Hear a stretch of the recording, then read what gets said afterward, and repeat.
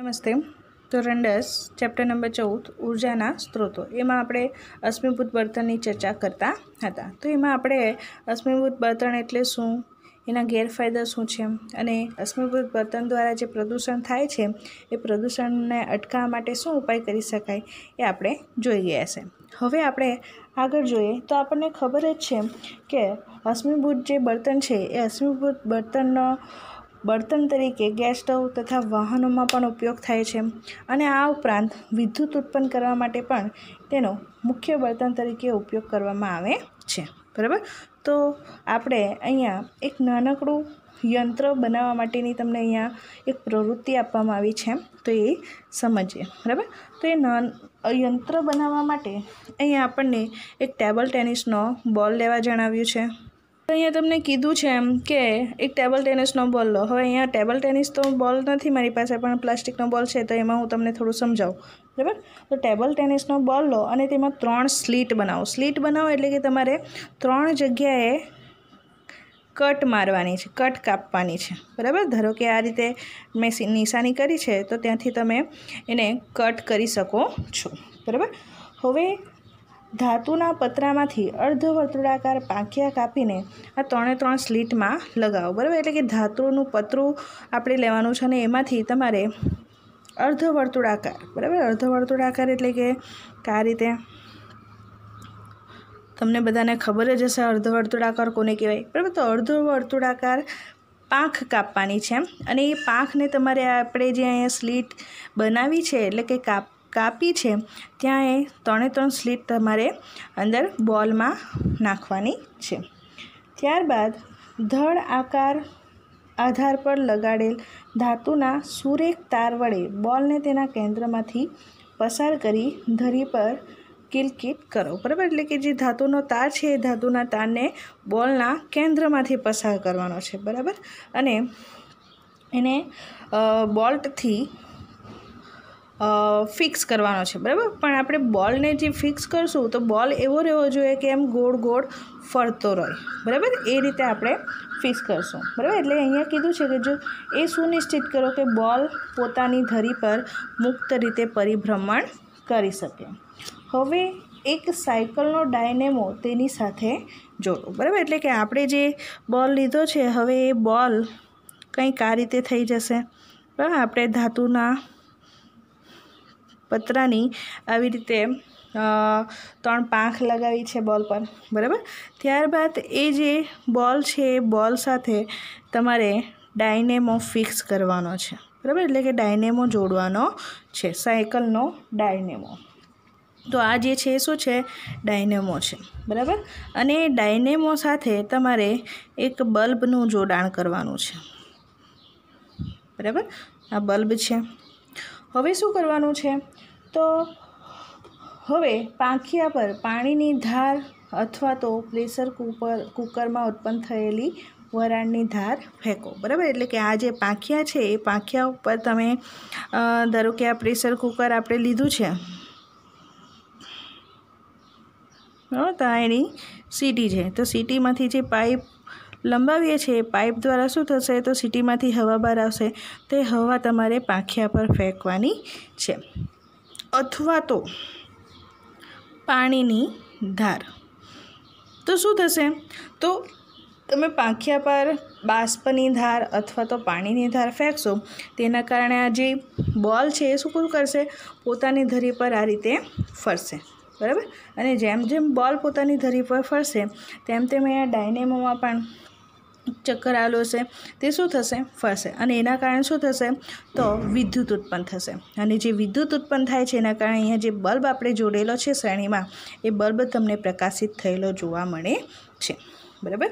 તો આ રીતે આપણે વિદ્યુત ઉત્પાદન, એટલે તમે પરીક્ષા સોરી જે સાયન્સ ફેર આવે છે, તો એ સાયન્સ ફેરમાં પણ તમે આ રીતની એક પ્રોજેક્ટ બનાવી શકો છો. બરાબર? તો અહીંયા વિદ્યુત ઉત્પન્ન કરવા માટે આ શું છે આપણી પાસે? આપણે એક ટર્બાઇન બનાવ્યું છે, બરાબર? તો સરળ ટર્બાઇનમાં ગતિશીલ ભાગ તરીકે રોટર બ્લેડનું સંયોજન છે, બરાબર? એટલે કે આ જે ટર્બાઇન છે તો અહીંયા રોટર બ્લેડ તરીકેનું જે સંયોજન હોય છે, એના તરીકે અહીંયા શું કામ કરે છે? તો આપણે જે બોલ લીધેલો છે, એ અહીંયા કામ કરે છે. અને ગતિશીલ તરલ, બરાબર? ગતિશીલ તરલ તરીકે આપણે શું લીધું છે? તો પાણીની ધાર અથવા તો બાષ્પનો ઉપયોગ કરેલો છે. બરાબર? તો ગતિશીલ તરલ શું કરે છે? તો બ્લેડને ફેરવવામાં મદદરૂપ થાય છે. બરાબર? બ્લેડને ફેરવવા માટે કાર્ય કરે છે તથા રોટરને ઊર્જા આપે છે. અને આ રીતે આપણે જોઈ શકીએ છીએ કે મૂળભૂત રીતે આપણે રોટરની, એટલે કે બ્લેડને ઝડપથી ગતિ આપીએ છીએ કે જેથી શું થશે? યાંત્રિક ઉર્જાને વિદ્યુત ઉર્જામાં આપણે રૂપાંતર કરી શકીએ છીએ. બરાબર? એટલે કે આ જે આ પ્રવૃત્તિ દ્વારા જે આપણે વિદ્યુત ઊર્જા મેળવી છે, તેનો સિદ્ધાંત શું થશે? તો યાંત્રિક ઉર્જાનું શેમાં રૂપાંતર થયું છે? તો વિદ્યુત ઉર્જામાં રૂપાંતર થયું છે. બરાબર? એટલે કે યાંત્રિક ઉર્જાનું વિદ્યુત ઉર્જામાં રૂપાંતર કરવા માટે ડાયનેમોની સાફ્ટને ફેરવે છે. હવે ઉર્જાનું આ સ્વરૂપ આજની પરિસ્થિતિમાં એક આવશ્યકતા બની ગયું છે, બરાબર? એટલે કે કયું સ્વરૂપ? તો વિદ્યુત ઊર્જા, બરાબર? તો ઉર્જાનું જે આ સ્વરૂપ છે, એટલે કે વિદ્યુત ઊર્જા છે, એ આજની પરિસ્થિતિમાં કેવું છે? એક ખૂબ જ ઉપયોગી ઊર્જા સ્ત્રોત બની ગયો છે, બરાબર? અને આમ કરવા માટે વિવિધ રસ્તા હોઈ શકે છે, જે સંસાધનોની ઉપલબ્ધતા પર આધારિત છે. હવે આપણે ટર્બાઇનને ફેરવીને વિદ્યુત ઉત્પન્ન કરવા માટે ઉર્જાના વિવિધ સ્ત્રોતને કઈ રીતે ઉપયોગ કરી શકાય, તો એના વિશે આપણે જોઈએ. તો હવે એમાં આપણે જોવાના છે, પહેલું છે thermal power station. Sorry, thermal power plant. બરાબર? તો થર્મલ પાવર પ્લાન્ટ તેમાં પણ શું કરવામાં આવે છે? તો થર્મલ પાવર પ્લાન્ટમાં પણ વિદ્યુત જ ઉત્પન્ન કરવામાં આવે છે. બરાબર? એટલે કે તો આ જે થર્મલ પાવર પ્લાન્ટ હોય છે, તો એમાં વિદ્યુત ઉત્પન્ન કરવામાં તો કેવી રીતે? બરાબર?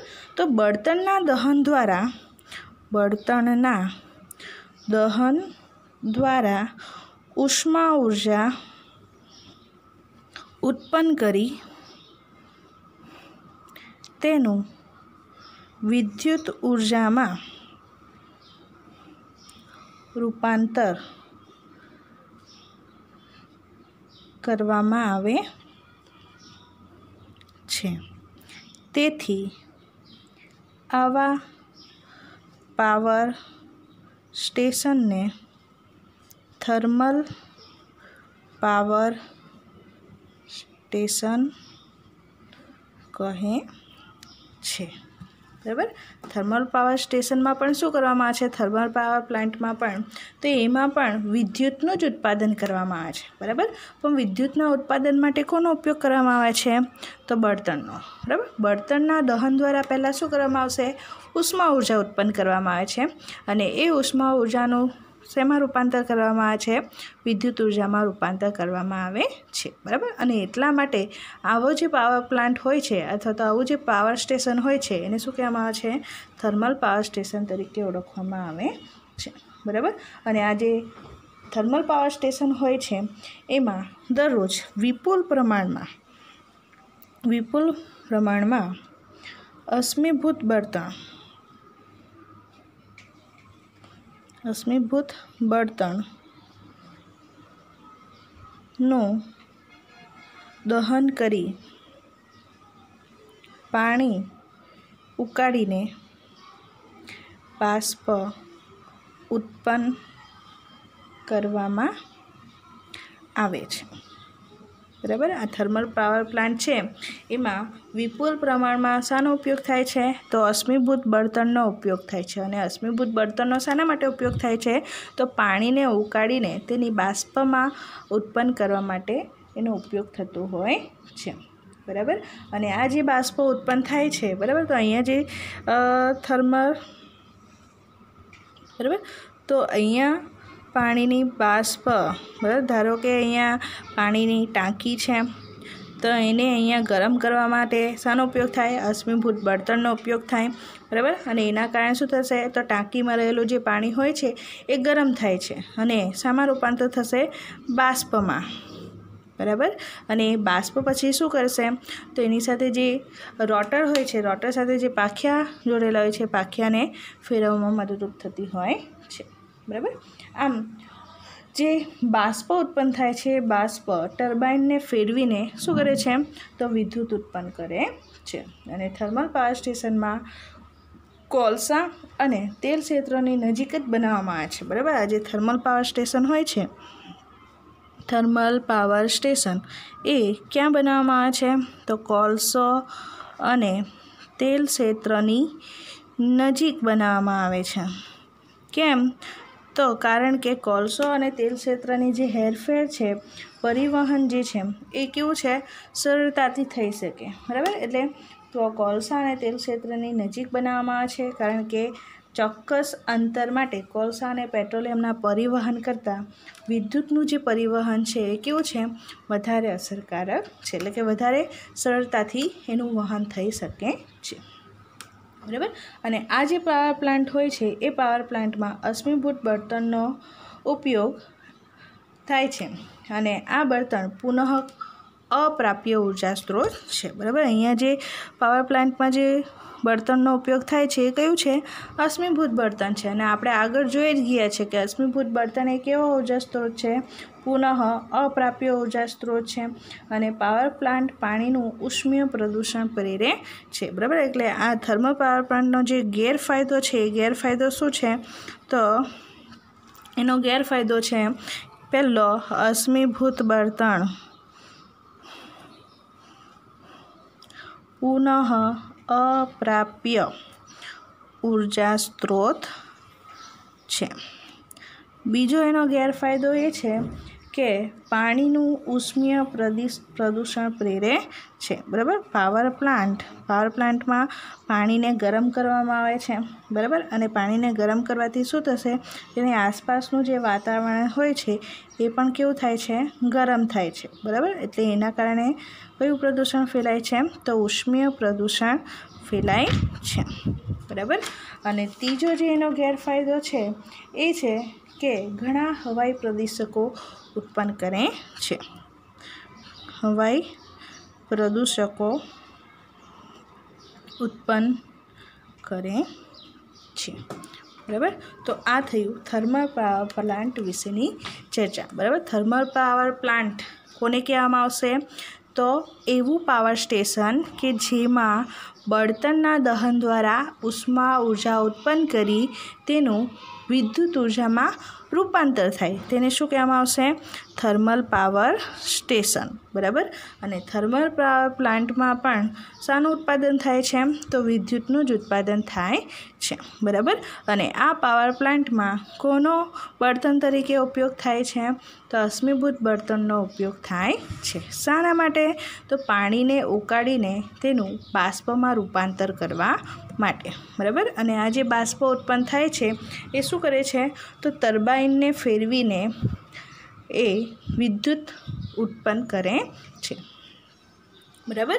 અને આ જે થર્મલ પાવર પ્લાન્ટ હોય છે, એ મોટે ભાગે ક્યાં સ્થાપવામાં આવેલા હોય છે? તો થર્મલ પાવર પ્લાન્ટ મોટે ભાગે કોલસો અને તેલ ક્ષેત્રોની નજીક આવેલા હોય છે. કારણ કે તેલ ક્ષેત્રો, તેલ અને પેટ્રોલની તેલ તેલ અને કોલસાનું જે પરિવહન છે, એના કરતાં વિદ્યુતનું જે પરિવહન છે કેવું છે? વધુ અસરકારક છે, એટલે કે વિદ્યુતનું વહન સરળતાથી થઈ શકે છે, બરાબર? અને એના ગેરફાયદા શું છે? તો પહેલો એનો ગેરફાયદો એ છે કે થર્મલ પાવર પ્લાન્ટમાં અશ્મિભૂત બળતણનો ઉપયોગ થાય છે, જે પુનઃ અપ્રાપ્ય ઊર્જા સ્ત્રોત છે.